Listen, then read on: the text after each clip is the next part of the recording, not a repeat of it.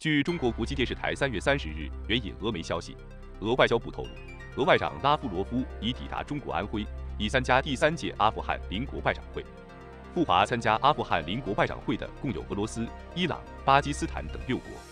该会议结束后，还将举行阿富汗邻国家阿富汗外长会，阿方代表将出席这一会议。印尼、卡塔尔两国代表则作为嘉宾受邀出席。中美俄加磋商机制会议也将在这期间召开。美国阿富汗事务代表将与中俄巴基斯坦三国代表共同就阿富汗问题的远期解决展开磋商。这三场会议共邀请美国在内的十国代表齐聚中国，以期为阿富汗问题的解决给出长期性、建设性的解决方案。而在三月二十九日，中国外长王毅与欧盟高级代表傅雷利进行视频通话。双方一致同意为乌克兰局势的劝和促谈做出努力。阿富汗问题和乌克兰问题作为美国霸权遗留的两大创伤，阿富汗问题的更好解决也有助于为乌克兰局势的缓解和后续治理提供经验。阿富汗地处欧亚大陆通衢之地，美国在阿富汗进行了二十年的反恐战争，但却并未使阿富汗获得和平和发展。阿富汗的混乱一度向周边邻国外溢，为中国、俄罗斯、巴基斯坦等国带去严重的威胁和毒品泛滥威胁。阿富汗的长治久安符合多边共同利益。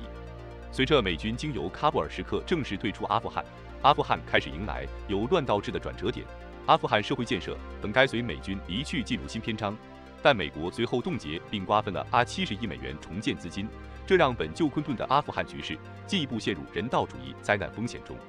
美方作为形同名甲，阿富汗民生困顿之际，美方面临着两个选择：改正错误，或进一步迎接信用破产。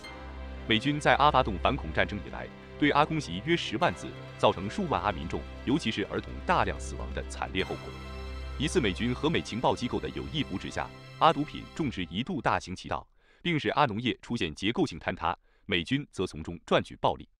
美对阿城市的大规模轰炸，使得阿工业发展无从谈起；对阿农业结构的系统破坏，则使阿联民生的自给自足都无法实现。美军在阿富汗长达二十年的战争行径，使得其撤退后的阿富汗是满目疮痍的局面。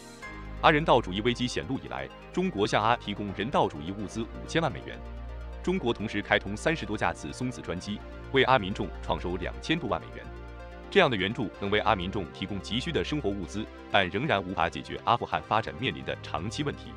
中国安徽屯溪举行的系列会议，便服务于为阿民生问题提供长期解决方案这一目的。